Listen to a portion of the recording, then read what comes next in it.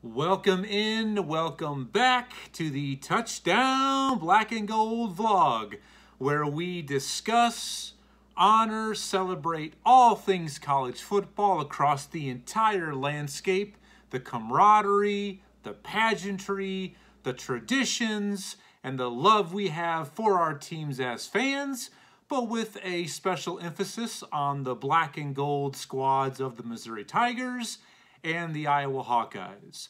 Welcome. This is my Week 10 preview episode. I am your host, Blair Parks. Holla at your boy, as usual.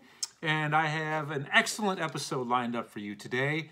Big time upcoming weekend on the gridiron between some of your favorite teams.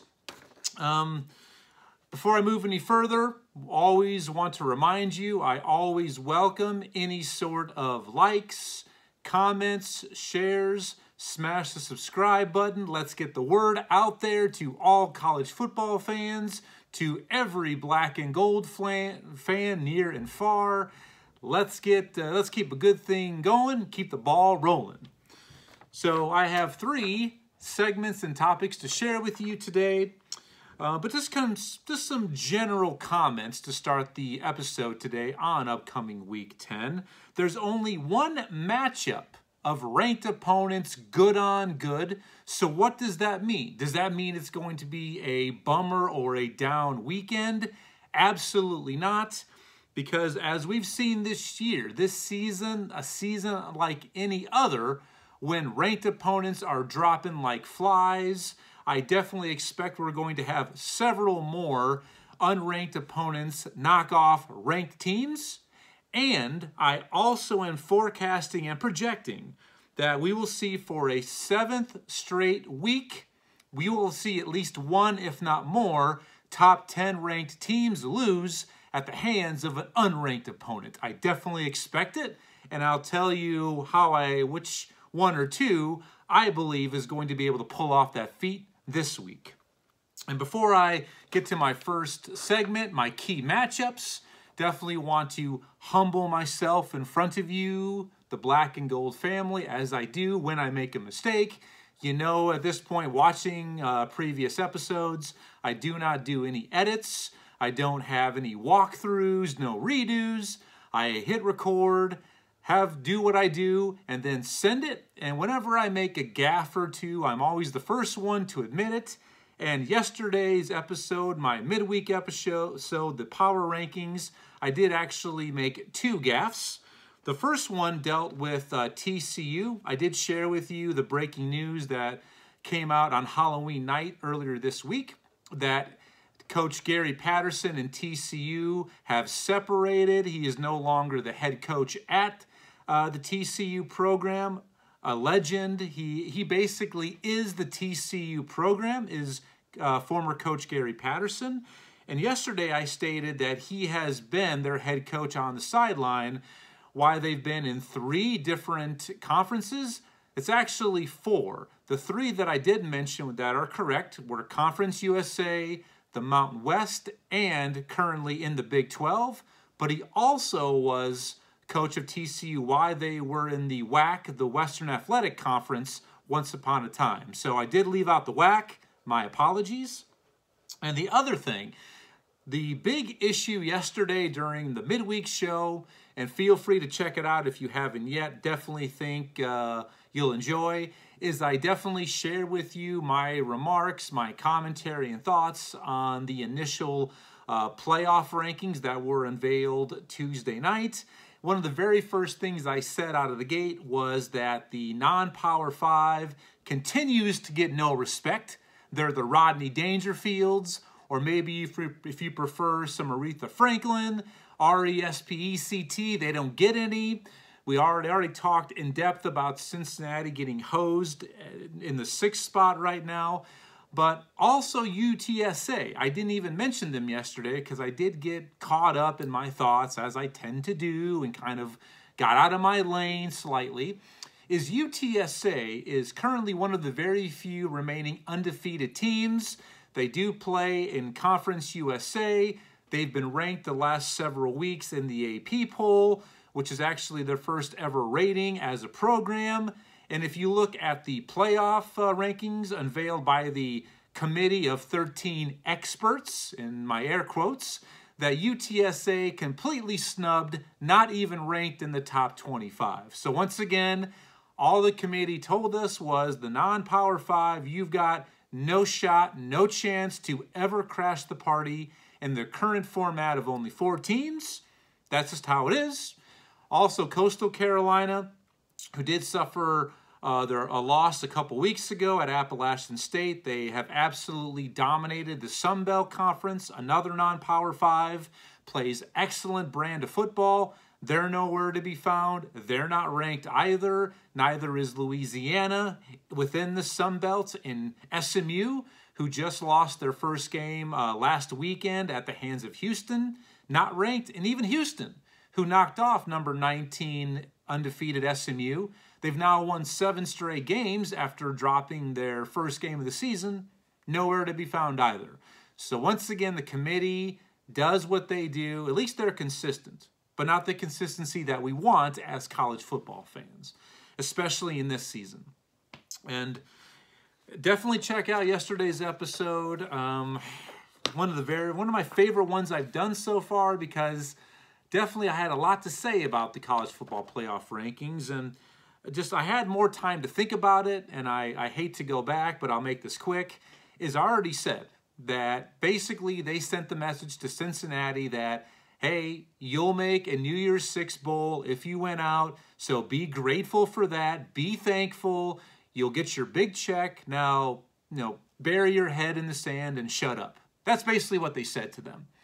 And looking at the rankings, I thought, well, maybe there's still a shot that they can get there, they can make their way in if they win out, and if a few teams ahead of them lose. But upon further review, throwing the red flag, they've got no shot. 0.0% chance of making the playoff. Thank you, Dean Wormer. Because teams behind them, if they win, they're going to absolutely jump Cincinnati no matter what they do. I mean, Oklahoma sitting number eight. They've been penalized for a kind of a soft schedule, but they have three tough games remaining against Oklahoma State, Baylor. Both of those squads are ranked in uh, the initial rankings, and Iowa State. So if they win out, get to the Big 12 title game, win the conference title, they will absolutely hop Cincinnati. There's no doubt about it. And Michigan who's right behind them in the seven hole, if they're able to knock off Ohio State, get to the Big Ten title game, they absolutely will jump them as well. And even Wake Forest. If Wake Forest can run the table, get to 13 and 0, an ACC champion, and they are a Power 5 champ, even though the ACC is down, I believe they will hop Cincinnati as well. So they've got no shot. It's just a, it continues to be uh, the overall theme we see year in and year out, it comes down to the name, the brands, and the perception. Perception becomes reality. I mean, I look at Alabama at number two, which was a big surprise. I was fine if they would be four or five, but to have them ahead of Cincinnati out of the gate, but then again, it makes it easier on the committee to where we don't have to look bad by having teams hop them later. We'll just have them out right now early, kind of a mercy killing, so to speak. So that's that's the that is the advan- that's the role they've kind of taken in their attitude by ranking Cincinnati where they are. I mean, I look at Alabama and sorry, I already vented yesterday, but yeah, I mean, their best win over a two-loss Ole Miss team now at home in Tuscaloosa. But after that, what, you look at Tennessee, yeah, they put up 52 points on them.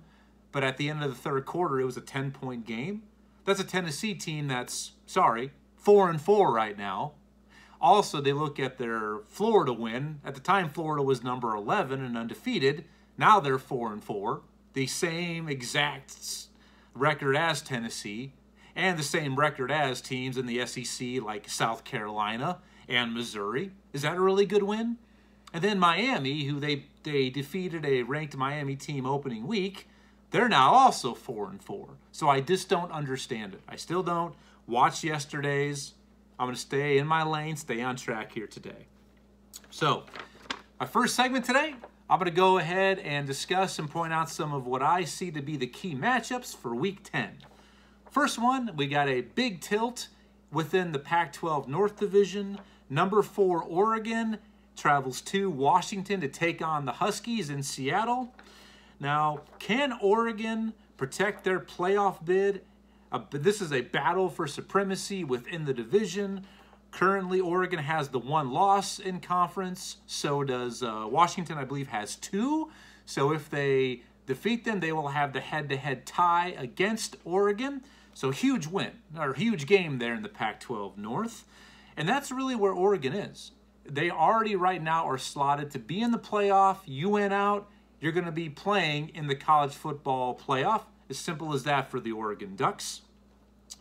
And Oregon is the only hope for the Pac-12 to to crash the playoff party. They're the only Pac-12 team that's ranked in the first uh, rankings, the, the top 25, and they're trying to get the Pac-12 back to the playoff for the first time since Washington. Since the last time that happened was Washington back in 2016.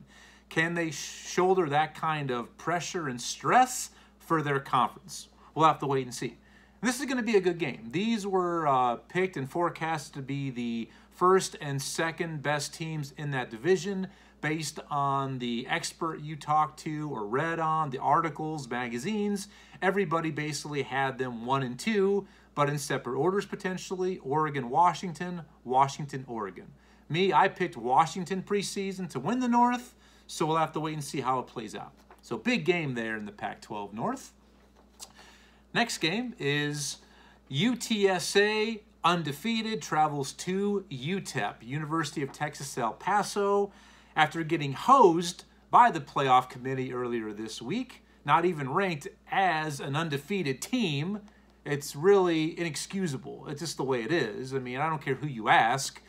I mean, it's it's something that continues to be a travesty and a problem, but moving on. So they're the conference leader. Will UTSA make a statement this week and win big against UTEP? Now, this is a big game because this is a battle of the two best teams who sit atop the Conference USA West Division. UTSA is a perfect 4-0 in conference. UTEP is a game behind them at 3 and 1. So big time game within the Conference USA West Division. Can UTEP rise up and pull a big time upset. Tuned in, stay tuned in, and we'll see what plays out with this one.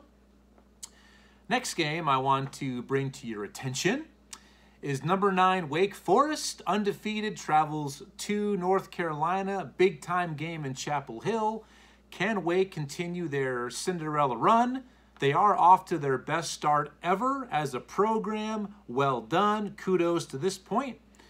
This is a matchup of two high-powered offenses. I mean, if you blink, you might end up missing a score or two. There is going to be points aplenty in this game and uh, between these two teams. This would be a major hurdle for the Demon Deacons if they leave Chapel Hill 9 and 0. Things definitely start to maybe fall more into place. They're their last couple games are a little bit more difficult, the, uh, the rear of their schedule, but this will be a, a, big time feather in the cap for Wake Forest moving forward. Um, and also kind of a pride game for North Carolina, a team that was ranked number 10 with during the initial week, the initial AP poll, falling on hard times. Let's see if they look inward and come out with some pride and pull a big time upset against number 9 Wake Forest. Next game I want to bring to your attention, a big one. Army travels to Air Force to play the Flyboys at altitude in Colorado Springs. Why is this a big one? Because the possession of the Commander-in-Chief trophy hangs in the balance. To the winner goes the spoils of war, which is the Commander-in-Chief trophy. Currently, Army has possession of the trophy due to defeating Air Force last year head to head at West Point. So whoever wins this game will be awarded the Commander in Chief trophy. So big time. So other than American Pride, Eternal Glory, and the triple option, these things will all be on full display when these two Academy teams show uh, show up and show out this Saturday. So big time game there for the Academies. Next game, game that's lost a little bit of luster, a little bit of umph this year because of the struggles of LSU. But this week is the big rivalry. LSU travels to number two Alabama. Can LSU rise up and shock the tide in this year's battle of blue bloods within the SEC West Division? Can the Tigers send coach Ed Orgeron, go Tigers, out on a high note with a victory for one last time against Alabama? And or will Alabama, after a week of really being questioned, and I think I think more people than not have questioned their number two ranking to ask, is that really legitimate? Not saying that Alabama could could could get to number two. They absolutely could. And I said, I was the first to say that, to where there's no doubt Alabama's going to have every opportunity to get to the playoff. But I think a lot of people are questioning their placement right out of the gate. So this is a potential um, show type of game for Alabama to where they can maybe uh, legitimize that ranking and flex and take care of business and really embarrass their rival from Baton Rouge. So, big time game there in Tuscaloosa between the Tigers and the Tide. Next one, uh, kind of an under the radar game, a tilt in the Big Ten. Number five, Ohio State travels to Lincoln to take on Nebraska. And I'm calling this one Coach Scott Frost's last stand, like Custer before him. Currently, Nebraska is 3 and 6, so with one more loss, they're guaranteed another losing season under the program's favorite son, Coach Scott Frost. Also, will Ohio State continue to look the part and feast on scrubs, or will they be challenged at a for a, at a potential hostile environment for four full quarters? I mean, Ohio State has absolutely looked the part against the likes of Tulsa and Akron, Maryland, Rutgers, Indiana. No offense against those programs and fans of those programs, but it's not quite the caliber of some teams that you would expect the number five, the fifth best team in the nation, to look like. I mean, you should be taking care of business against those teams, but it really comes down to the pride that Nebraska needs to really show. I mean, I think if they come in there, roll the Huskers by 30 points or more, I think at that point they could officially pull the plug. And come Monday morning, that might be one of the headlines that Scott Frost has been relieved of his coaching duties at Nebraska. We'll have to wait and see. Kind of a fun little side note. I like to always give you a little bit of knowledge, some history when I can. But after last week's loss to Purdue, under Scott Frost, who he's in his fourth year, so not even completed four years as the coach of Nebraska. They've suffered 22 Big Ten losses, 22 conference losses. Tom Osborne, when he was Nebraska's head coach in the old Big Eight days, and then I think he also did coach a few years in the Big 12.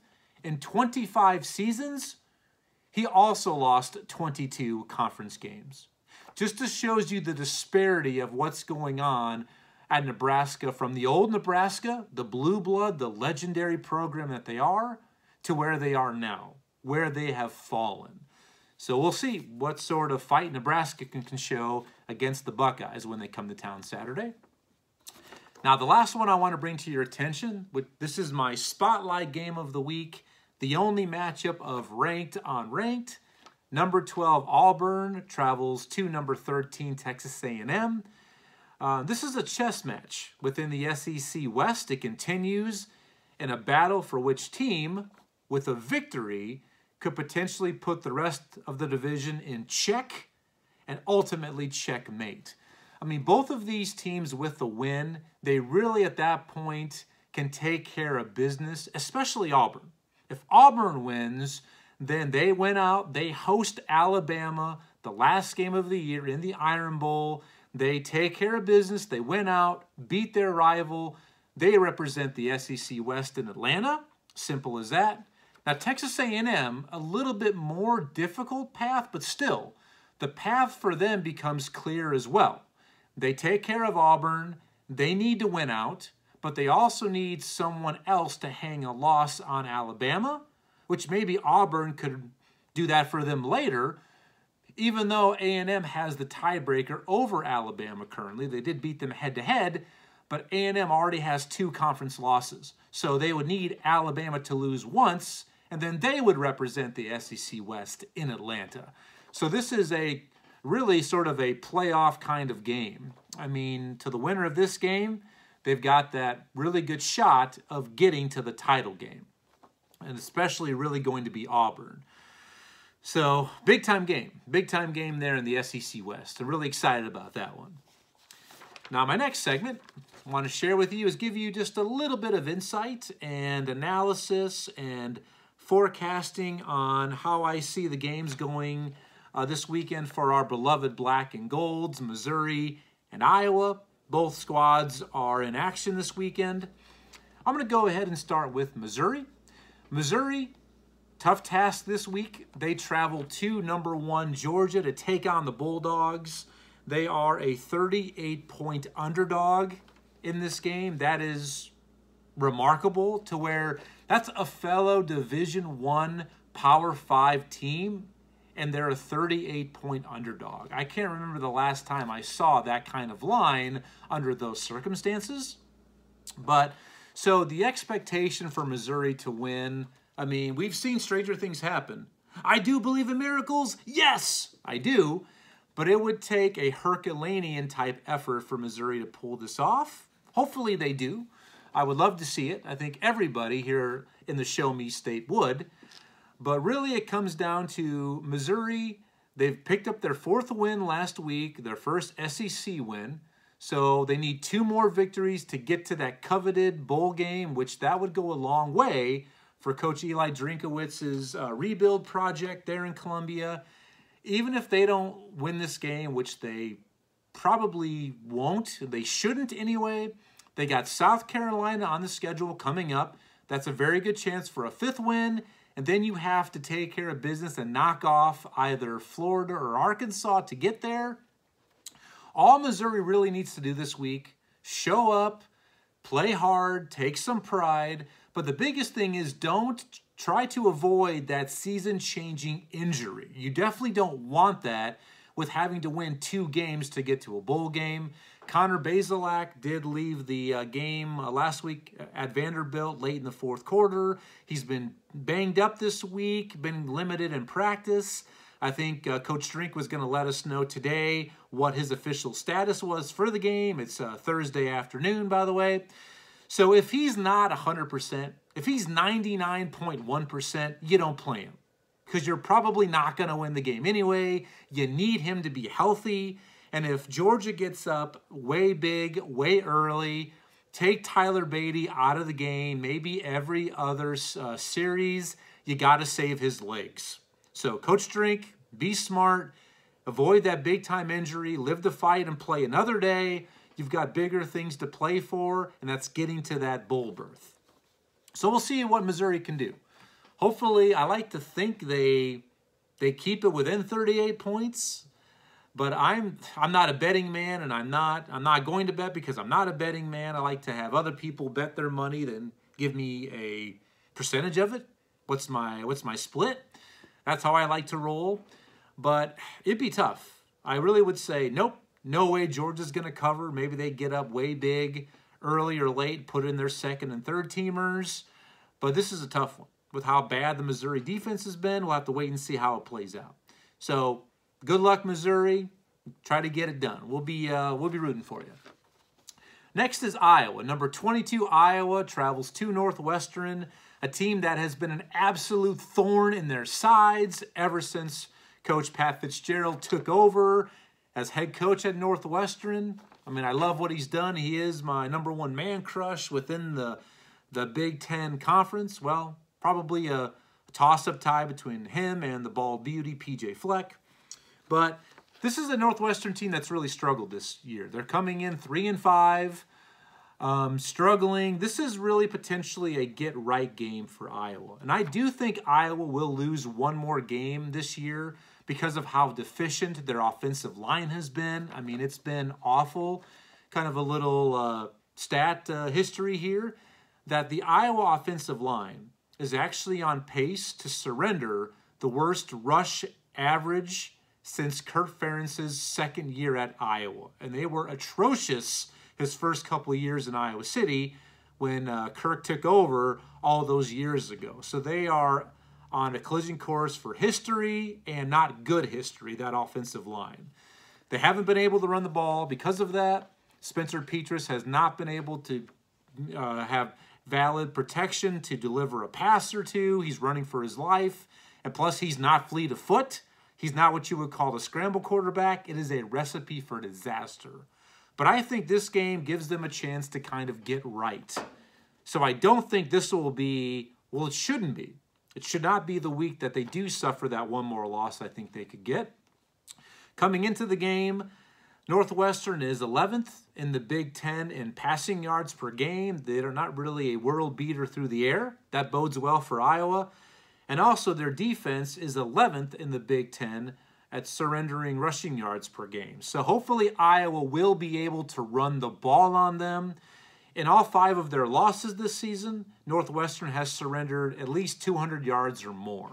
So that's really going to be the key for Iowa this week is can they run the ball? Can that Iowa O-line come out with some pride? And that's something that I think could maybe be the deciding factor is Iowa's lost two games in a row. They've been dominated, embarrassed, is the prize on the line. Show us that you have something left internally. So we'll see how it plays out. Stand by. You'll see uh, how I pick these games to go down here shortly. We'll have our pick'em segment. But that's kind of my initial analysis and thoughts on how the black and golds, how it could play out this weekend in their matchups, both on the road. Tough environment for Missouri.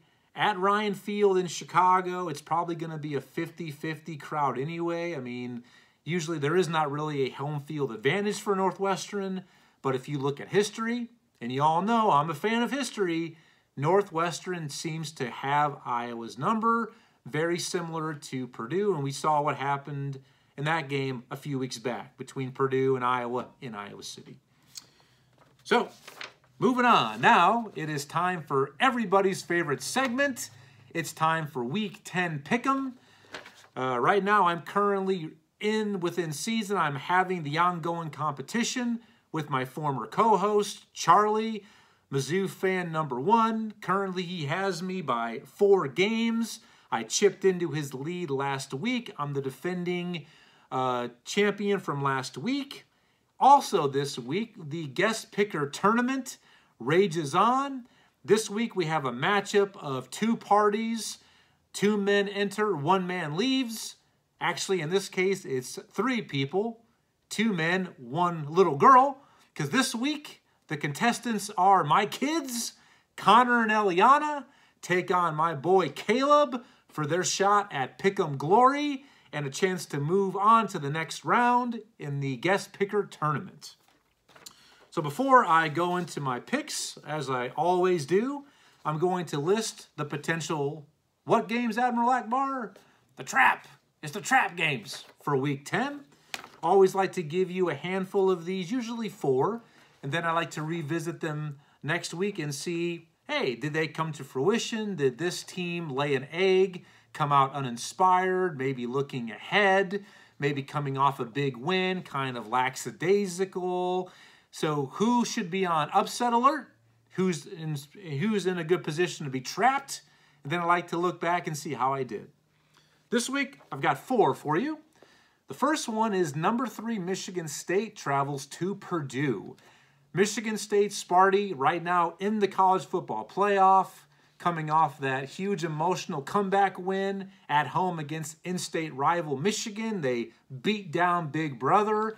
How are they going to respond on the road at a Purdue team that we all know, just ask us Iowa fans, that loves to spoil the party? This is a team that you really need to prepare for. I mean, if they think they can come in to West Lafayette and sleepwalk, they better be ready. All week, they've been celebrating this big victory over Michigan you know, hearing people say how good they are. They saw the, un the unveiling of the rankings. They're a playoff team.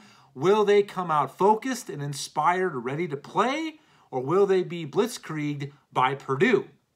And Purdue has a history of doing this. Once again, just ask Iowa, but also ask Urban Meyer and Ohio State. This is what this Purdue team thrives on. So be on upset alert, be ready, uh, Sparty. Next one is number nine, Wake Forest at North Carolina. And uh, next week, uh, next week, Wake Forest hosts number 19, NC State, a, which will be a battle of two ranked teams in the ACC. So maybe Wake Forest is looking ahead a little bit for this game because, like I said, their schedule does get a little bit more daunting at the end of the season, but they better not be looking ahead.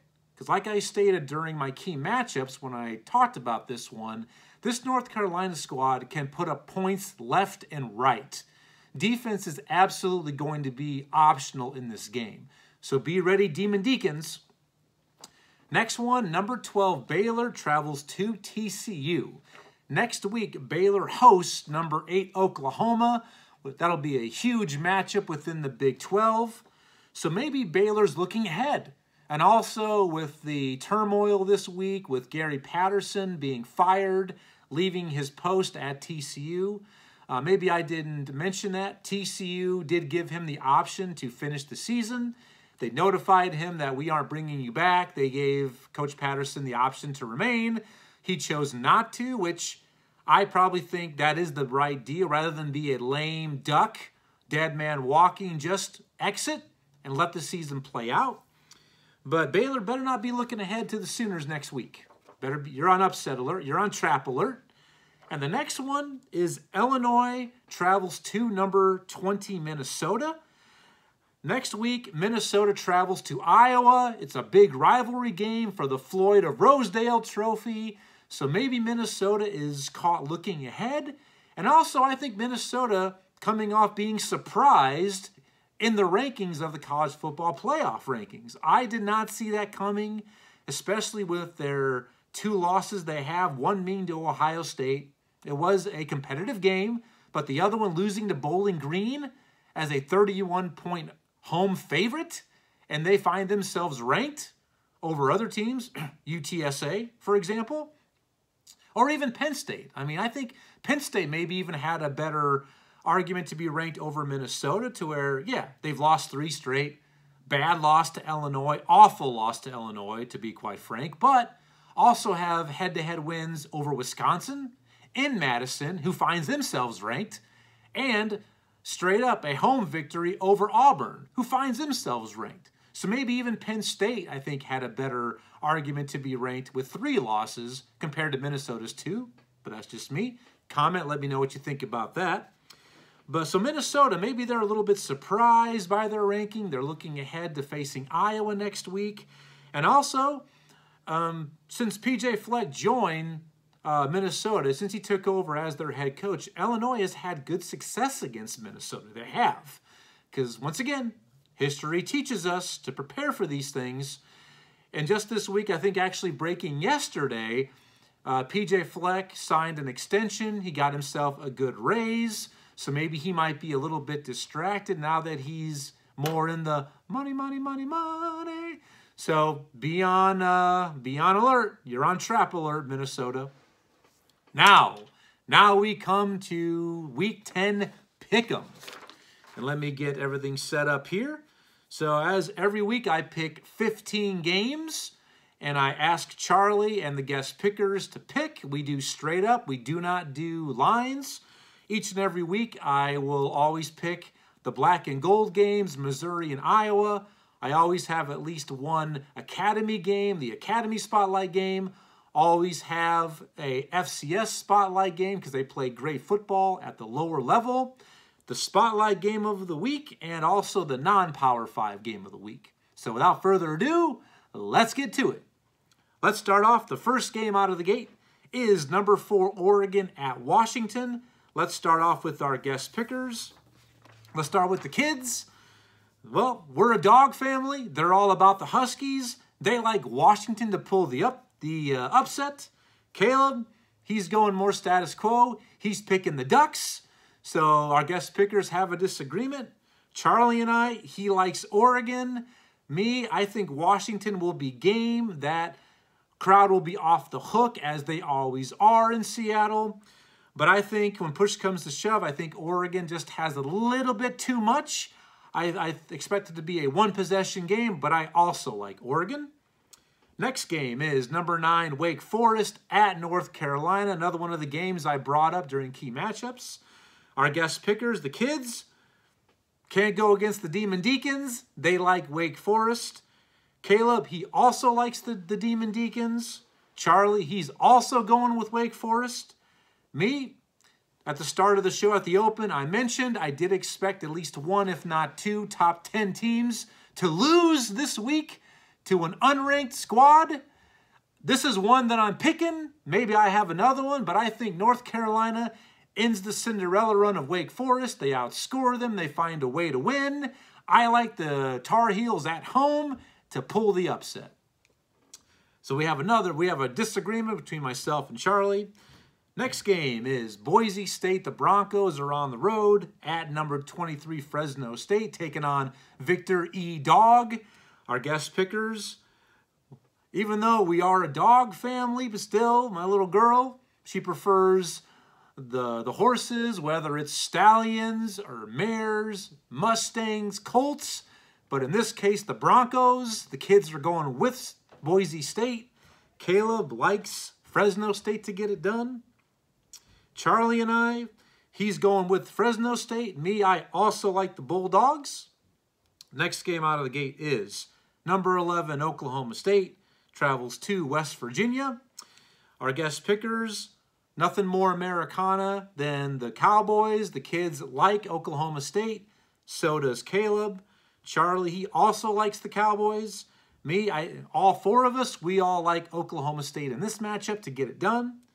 Next game, kind of a battle of the cellar dwellers in the Pac-12. We have Cal travels to the desert taking on the winless Arizona State Arizona Wildcats. Now Cal does have a couple of victories. Arizona is in the midst of a long losing streak. Will they be able to break it? Let's see. Our guest pickers, the kids, they like the Wildcats because anything basically four legs they like. In this case, Wildcats over Bears. Caleb also likes Arizona. Charlie, he likes Cal on the road to get a victory. Arizona has looked more competitive the last three weeks. They've been a little bit close. They're getting closer. I think this is the week that freshman coach Jedd Fisch gets his first victory. I like the Wildcats in the desert. Next game, we have Tennessee, a rivalry game in the SEC. Tennessee travels to number 18 Kentucky. Let's see how our guest pickers like this rivalry game. Uh, let's see. The kids, the Wildcats, once again, they like Kentucky. Can, Caleb also likes Kentucky at home to get it done. Charlie, he's taking the Wildcats. Me, I think Tennessee can score. They're quick, but I think over time, Kentucky's a big team, physical to wear them down. We all like the Wildcats at home to win. Next game, number three, Michigan State at Purdue. Potential, like one of my trap games. Do, do any of us see a big upset of number three, Michigan State? The kids, they like Purdue at home. Toot toot, says Connor. He's going with the Boilermakers. Uh, Caleb, he likes Sparty, so there's a, a disagreement there. Uh, Charlie, he likes go green, go white. He's taking Michigan State. Me, I've seen this before. I've seen this movie too many times as an Iowa fan. I think they come out ready to play. Michigan State comes out a little bit slow. They get down early. I like Purdue to pull the upset. I like two top 10 teams this week to go down. Next game we've got is in the Conference USA, one of my key uh, matchup games. UTSA traveling to UTEP. The Roadrunners, me, me, at the Miners. Let's see who wins this game. The kids, there's no way they can go against uh, the Roadrunners. Me, me, they like UTSA. Caleb, he also likes uh, the Roadrunners. Charlie, also in agreement. He's going with UTSA. Me, I'm all about uh, UTSA. I have been for many weeks. And Sincere McCormick, the running back. Their uh, coach uh, Traylor just got a big time extension. He's probably going to be staying there in San Antonio. We all like UTSA. Next game, number 12, Baylor travels to TCU, one of my trap games. Let's see how we like we think this game is going to play out. The kids, they like the Horn Frogs go purple. They like them to pull the upset. Caleb, he's going with the Baylor Bears. Charlie, he's taken Baylor as well. Me, I think this Baylor team is still flying a little under the radar, even though they are ranked number 12. I like the Bears as well.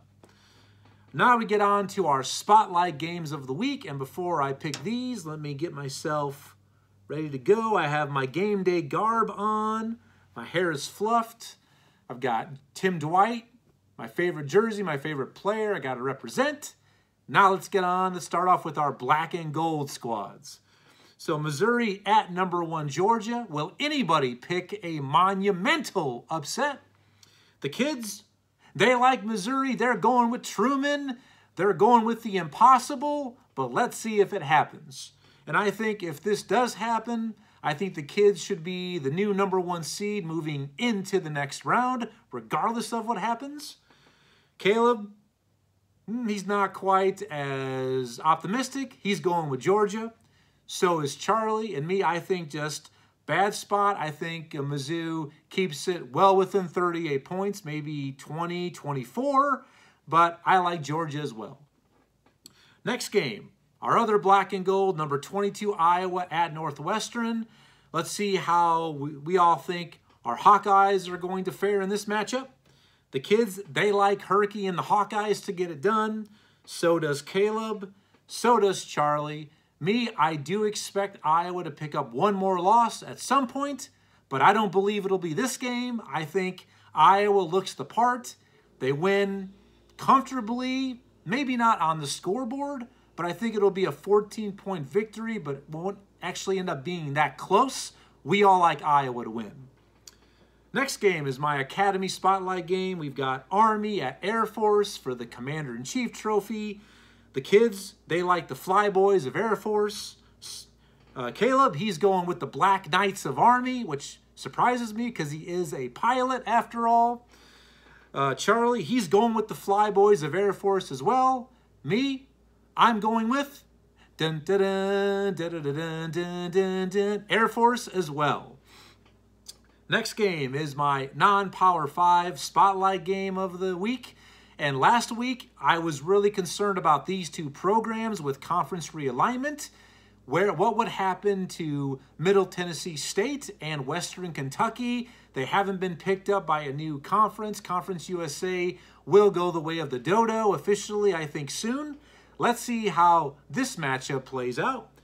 The kids, they like the Hilltoppers of Western Kentucky and Bailey Zappe, one of the best quarterbacks in the nation, a guy you probably have not heard of. Caleb, he also has taken the Hilltoppers of Western Kentucky. Charlie's also going with Western. And me, I love Bailey Zappe, what he's doing. We all like the Hilltoppers to win. Next is our FCS Spotlight Game of the Week. And this week, our eyes turn to the Southwest Athletic Conference, the SWAC. We've got Florida A&M. The Rattlers travel to Southern. I believe they're the Jaguars. Let's see who we like in this matchup of jungle dwelling creatures. The kids, they're going with the Jaguars of Southern. Caleb is also taking Southern. We got an agreement there. Charlie is going with Florida A&M. Me, I like the Rattlers of Florida A&M because it's just an awesome, awesome looking mascot. All right, now comes the spotlight game of the week. Big one in the SEC. Number 13, Auburn at number 14, Texas A&M. Let's see who we like in this game. The kids are going with the Aggies of Texas A&M at home. So is Caleb. They both like uh, A&M. Charlie, he's also going with A&M and Zach Calzada at quarterback. Me, I absolutely love what Auburn's doing. Bo Nix is doing Bo Nix things. He's still living on the edge, but yet living on a prayer as well. I like Auburn to pull the upset on the road, even though they are the higher ranked team, I like the Tigers. So that's it. that's our Week 10 review episode. Hope you enjoyed it. As always, I really would appreciate any shares, any likes, any subscriptions, comments. Let me know how I'm doing. If there's something you'd like me to discuss on air, something I've left out or messed up, call me out on it. Let me know. And also, as a reminder, next week there'll be several tweaks to the uh, the show. I'm only going to have one episode next week. That'll be on Wednesday because the wife and I are taking the kids, packing up the car, and we're driving down to Florida, Griswold style, to spend a week at the happiest place on earth at Disney uh, World. So expect uh, that episode next Wednesday. That'll be a combination of power rankings and the week 11 preview. So until then, enjoy the football. Have a good rest of your week. Be safe, be smart. Peace, prosperity, and thanks for being with me and joining me on the Touchdown Black and Gold vlog. I'll see you next week. Take care.